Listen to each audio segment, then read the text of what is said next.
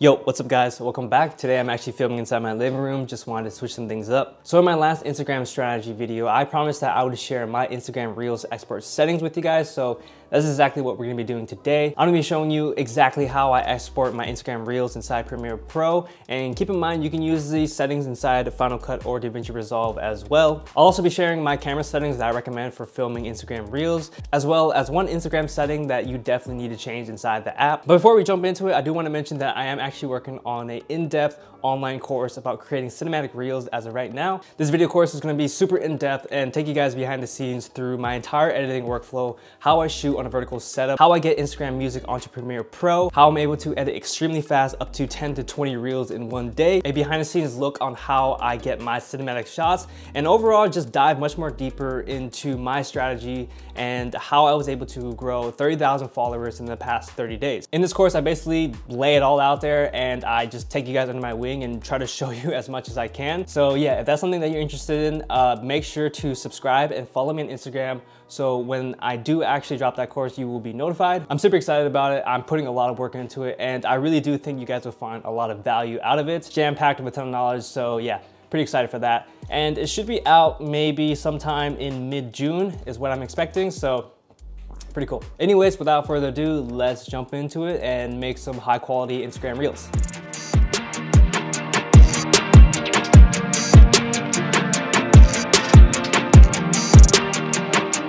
All right, so the first thing that we need to do is actually change one certain setting inside your Instagram app, and I'll actually go ahead and change it with you. Go ahead and open up your Instagram app and go to your account. Go into your settings, and then go into account, and now go into data usage and turn on high quality uploads.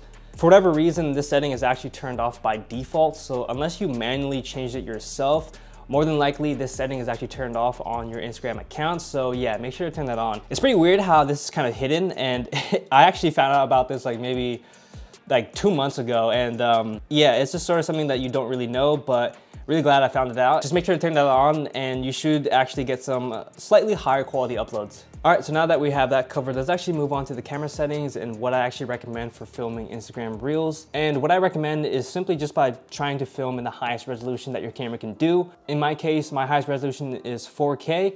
Anything 4K or higher is definitely what I recommend. And this is especially useful if you have a lot of horizontal content that you later want to convert into vertical content for say Instagram Reels or TikTok. Having that extra resolution is definitely gonna help out a lot when you do punch in and zoom in. It's gonna be able to retain a lot of the image quality and data. So highly recommend filming in 4K or higher. Personally, I'm always filming in 4K 10-bit 422 in S-Log3s just so I can get the most dynamic range and color depth in all my shots. And this is like standard for all my work. This is like the main settings that I shoot everything with, my YouTube videos, my client work, my Instagram stuff. This is just one of the highest quality settings that you can use inside my camera, which is the Sony a7S III. And sometimes I will shoot with my Sony a7 IV. But don't worry if you don't have like the latest and greatest camera, just start off with whatever you have and just try to film in the highest resolution. Lighting, composition, and pacing is much more important than your camera settings or image quality. So just keep that in mind that you can still do a lot with whatever camera you have and Maybe I'll actually make a video about this in the future. But yeah, don't be discouraged if you don't have like a super nice camera. And also I do wanna mention that I am filming vertical. I feel like if the content is gonna live on Instagram only anyways, I might as well just film vertical. I will say it's pretty challenging like balancing between horizontal and vertical filming. I'm always trying to like decide like, oh, should I shoot horizontal or vertical? So yeah, that part is sort of weird. And not to mention just vertical filming is just a really weird experience, especially if you have been, you know, filming horizontal your entire life. Yeah, I'll definitely make a video about like vertical filming and my setup eventually. Let me know your thoughts about vertical filming, if you found it weird, if you hate it, or if you love it. Would definitely love to hear your thoughts. All right, so now we have the camera settings down. We got the Instagram setting down. Let's actually jump inside Premiere Pro and I'll quickly show you guys uh, how I actually export my Reels. And it's pretty simple. I don't really think it's like super complex or anything, but all right, so go ahead and open up Premiere Pro and go into a new project. I'm just gonna title this Instagram example, boom. And here I normally just like to drag and drop like a clip onto the sequence in order to create a new sequence. So I'll just go ahead and just take a random clip, just drag and drop. There you go. And I've actually created a new sequence. Now we can start editing And uh, just to double check on your sequence settings, go into sequence on the top left corner and then go into sequence settings and notice your frame size should be 2160 by 3840 if you are working with the 4K clip. This is a 9 by 16 crop. However, if you are working with 1080p, this would be actually 10, 1080 by 1920. And notice this would be 9 by 16. So since I'm actually working with 4K, I'm gonna actually switch this back. All right, 9 by 16, cool, cool. Now, one really important thing that I do wanna mention now, so you guys like don't like skip ahead and miss this like really crucial and important part, is that we will be actually exporting in 1080 by 1920 we always export in HD. And the reason for that is for whatever reason, uh, you can't get 4K vertical footage onto iPhones. Whenever you try to actually get it onto your phone, it just doesn't actually show. So I'm not sure if this is just like an iPhone thing or if Android or all the other phones do this as well. But basically you can't get 2160 by 3840 uh, footage onto your iPhone. If you guys can do it, I would definitely love to know if you can. But for the most part, iPhones cannot do that. So if you have actually tried to, you know, get Reels onto your phone and it just won't show up or something, make sure that it's in 1080p. All right, so now that we have that out the way, our sequence timeline is good to go. And um, I'm actually gonna go ahead and drag and drop some clips onto here that I have from before. So you guys probably remember uh, this footage that I actually uh, used for one of my reels, a blue arrow reel. And uh, it's actually not color graded right now, so I'm actually gonna quickly just add uh, my LUTs in real quick. One of my favorite LUTs that I use for my S-Log 3 LUT pack is Emerge.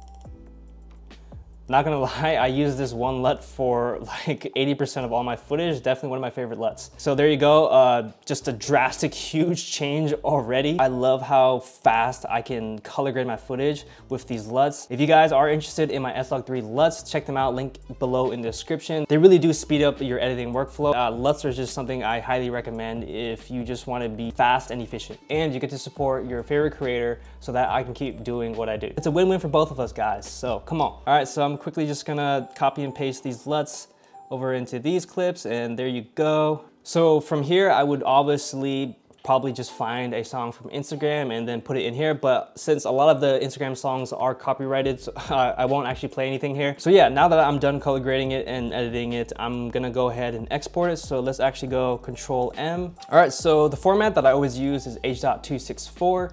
And then um, make sure to actually change your resolution to 1080p by 1920 1080, and then this should actually convert into, there you go. All right, very important step. Do not forget that or else you won't be able to get your reels uh, onto your phone. And from here, make sure to check render at maximum depth and also make sure use maximum render quality is also checked. So now scrolling down into the bitrate settings, and I always actually export in VBR OnePass. I feel like it's more than enough and, and is actually uh, much faster. I like VBR OnePass, and I normally like to put my target bitrate around 30 and uh, yeah, there you go. This is what I would actually export with. These are my export settings. So there you have it guys. That is my export settings for Instagram Reels. If you guys have any questions, any questions at all, feel free to drop a comment down below and I will try to get back to as many of you guys as I can. If you guys do not follow me on Instagram, make sure to check out my Instagram and check out all my Reels and let me know what you think. And if you found this video and my last Instagram strategy video helpful, then you will definitely love my online course that I have coming up sometime in mid-June. It's jam-packed with a ton of knowledge and I really do think you guys will find a lot of value out of it. Reels is by far one of the best, fastest, and easiest ways to grow on Instagram as of right now. That's why I think it's all the more important to be able to get ahead of the curve and learn how to create highly engaging video content. So make sure to just subscribe and follow me on Instagram so when I do actually drop that course, uh, you guys will be notified. And don't worry, for those of you who can't afford it or just don't really want it, I'll still be uploading lots of content to this channel, so make sure you stick along for the journey. Do not forget to drop a like in this video, it really does help out with the algorithm. Make sure to subscribe as well if you haven't already, and with that being said, thank you so much for watching, and I have lots of content on the way, so make sure you stay tuned. But with that being said, I will see you guys in the next one. Later.